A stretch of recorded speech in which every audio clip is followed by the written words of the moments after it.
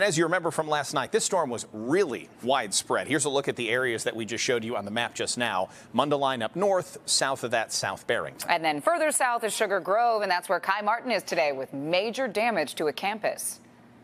We're here in Sugar Grove in Kane County, and this is the campus of the Waubonsee Community College. And you can see so many trees uprooted here. In fact, we've seen crews out here for hours, and they have hours of work to go. When you have tornadic winds, that's when these trees get picked up by the roots, and some trees, the workers tell me, were tossed across campus. So let's walk and try to see some of the cleanup here. This gentleman and other crews, they've been out here again since the very early morning hours of sunrise, tried to get a handle on things.